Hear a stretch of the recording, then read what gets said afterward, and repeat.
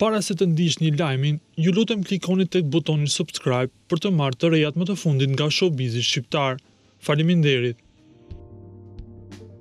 Dea Mishel, Kiara Tito dhe Olta Gixhari deri tani kanë qenë të favorizuara dhe u është dhënë mundësia të nxjerrin në nominim tre banorë. Së fundmi, ishte Olta e cila ka nxjerrë në televotim Luizin, Kiarën dhe Bledin.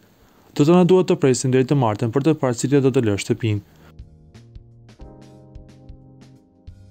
Së fundmi Luizi ka shprehur dëshirën për të patur të njëjtën mundësi.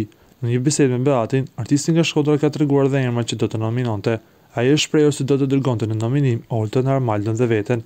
Mirëpo diçka e tillë nuk është e mundur pasi banorët nuk mund të nominojnë veten. Mirëpo Oltën dhe Armaldon mund t'i dërgojë. Do të na duhet të presim radhën e Luizit nëse do t'i jepet kjo mundësi për të parë se kë do të dërgojë në nominim.